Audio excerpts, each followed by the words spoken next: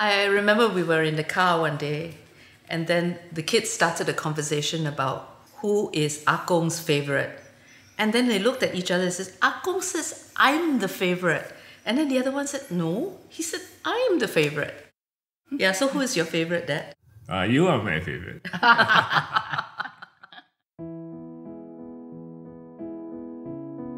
On the 10th of October 2014, baby Linen came into our lives. It's been six days that she's been with us, and it's been one of the best six days of my life. She's such a joy to have, and it's just amazing to see the miracle of life.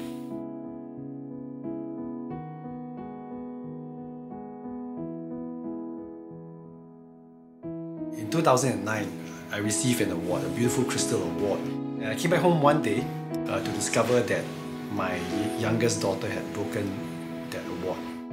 I was shocked because that was one of my proudest achievements.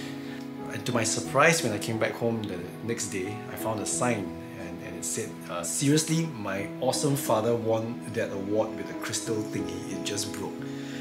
Um, and then I, I, I, took a picture of it and I posted it up on Facebook and I, and I said, Thank you, my dear daughters, for putting up this sign. I think it looks even better than the crystal you broke. hashtag why I can't get upset with my girls.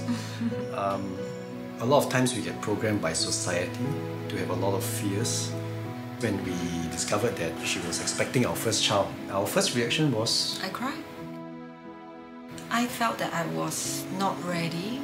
I felt that I'm going to lose myself, you know, and and every single one of the fear that we thought we would have when we have children were totally washed away.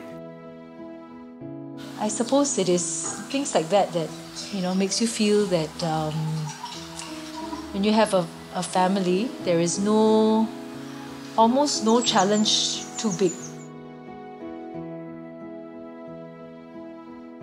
After two, we reached a point in our lives where we thought um, two is enough. Yeah. I remember feeling that the world that we live in, uh, there's a lot of suffering around, and uh, bringing another child into this world is almost cruel. But witnessing a friend of ours who lost their first child, mm. it was an experience that, that showed us that life really is such a miracle, mm. such a gift. And having a child became for us an opportunity to bring light into this world. It's amazing. I always thought that you can only have so much love for a child, but having another child, you find the love for them, and it doesn't divide, it multiplies. Everybody has the fear that uh, two sets of in laws cannot live together. So when Bernard asked us to move in with him, there was some doubts. But uh, we moved in. We were very happy because we wanted to be with the grandchildren. When they were young, I played with them. Jonathan, the eldest grandson, will be Cyclops. And then uh, Justin, Wolverine. Wolverine, yeah. And I stitched the garments for them, you know.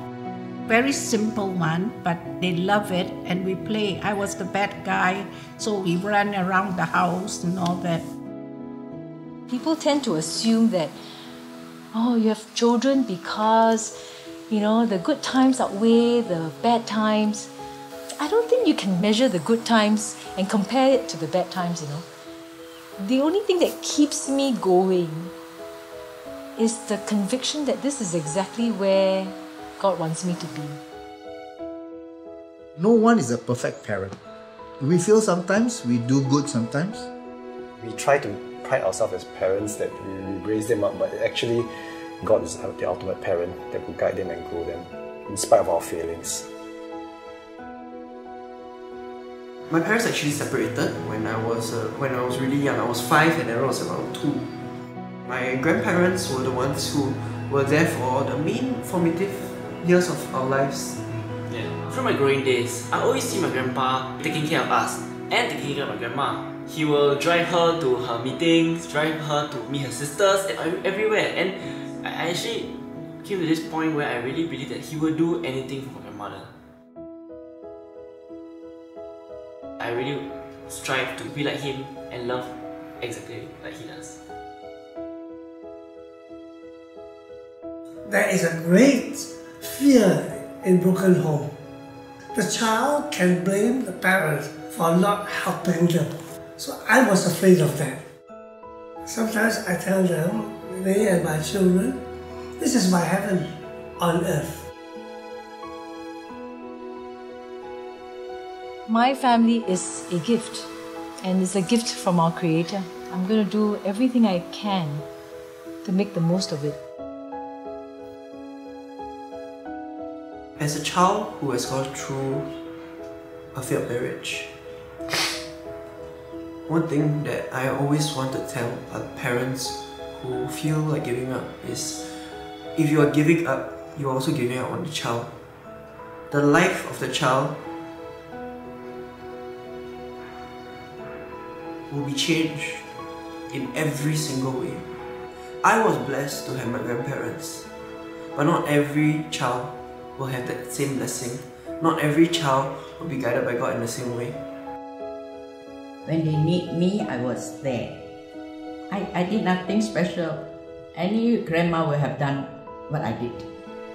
Family should be love, understanding, and forgiving. No matter how tough it gets, your family is what you should always hold close to your heart. I just ask that you don't give up on them. And I'm very sure they won't give up on you.